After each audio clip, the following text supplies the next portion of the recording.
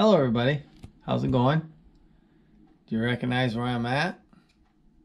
I'm at my seasonal job, weighing trucks in and out the local elevator over the hill. I just started here on Tuesday. Today is Thursday.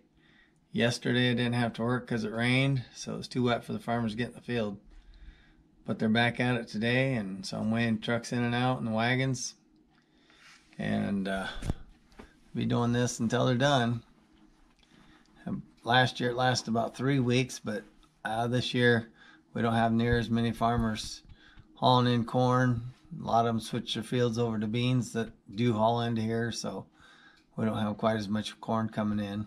So it'll be a shorter season for me. Won't make quite as much money as I did last year, but I'll make a little bit. That's the main thing. I'll see y'all later. Don't forget I love you. Bye.